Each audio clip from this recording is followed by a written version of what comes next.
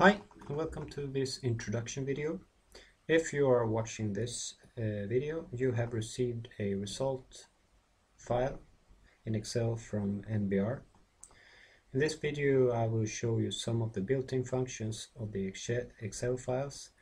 Um, these built-in functions will help you to get a quicker overview of the data and, and hopefully get a better grasp of the results. So the first thing we need to do is to open the Excel file.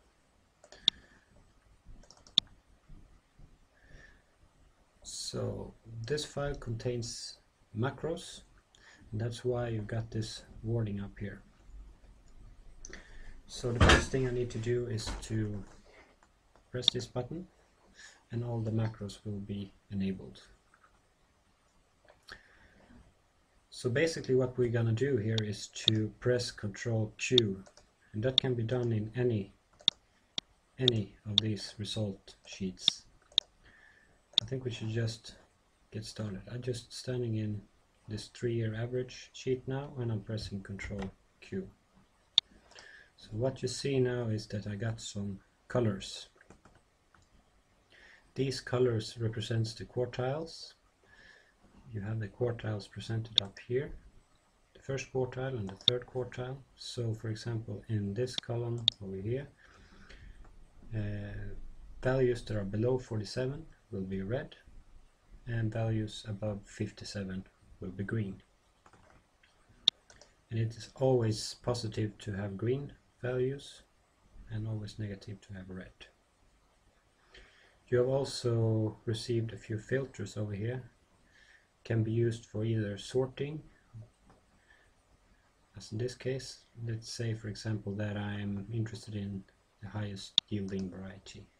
Just sort from the largest to the smallest and here I have my highest yielding varieties.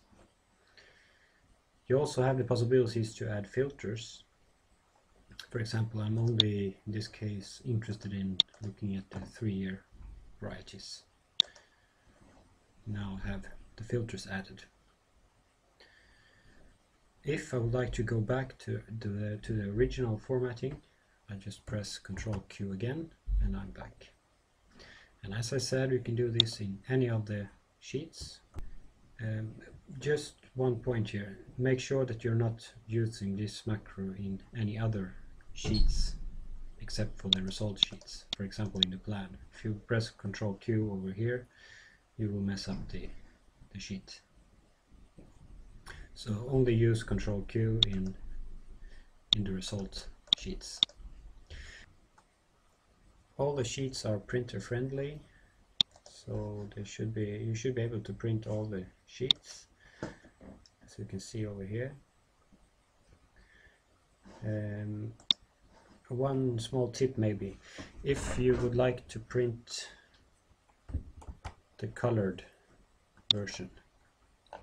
I would recommend you to go in and change some of the settings. For example, uh, it's quite nice to have it in A3 format and then lying down and change the scaling to to let's say 80% you will get all the data in one sheet it gives you a quite good overview of the data.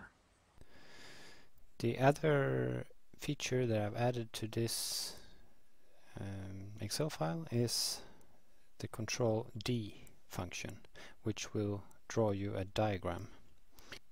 So if I press control D I will get a question on which column that I would like to chart. Let's say I would like to chart uh, the, the, sugar relative yield, uh, column 9. I just simply type in number 9 and I press OK. And there I have the diagram for the sugar relative. I could go on and press Ctrl D again and let's say I would like to plot uh, column number 7 this time and this will then be placed right above the other diagram so I have them both over here. I would also like to point out the sheet information Here you can read more about how you enable macros and also I have some basic information about the codes that I just showed you.